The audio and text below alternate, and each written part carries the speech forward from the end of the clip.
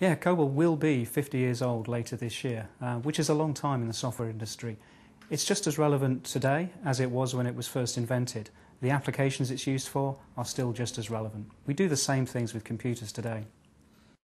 It's not like COBOL hasn't changed over those 50 years. Um, the, the sort of things you see in other languages like C Sharp and Java, you can, you can do them in COBOL too. Uh, as COBOL moves towards the future, we don't know what the future holds the, the cloud. Um, COBOL will still be there. It'll always be there. In integrating with Visual Studio and Eclipse means we can bring the full power of those environments to the, to the COBOL user. So if you need to be able to, to write a, a Windows form or integrate with a database, you can do that today with those tools.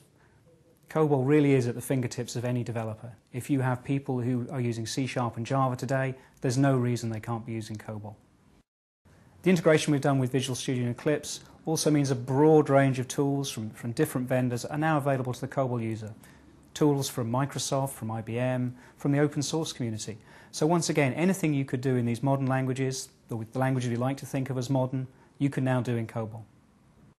Part of your department may be responsible for maintaining a COBOL application. That application can now be maintained and developed by anyone, even if COBOL isn't their first language.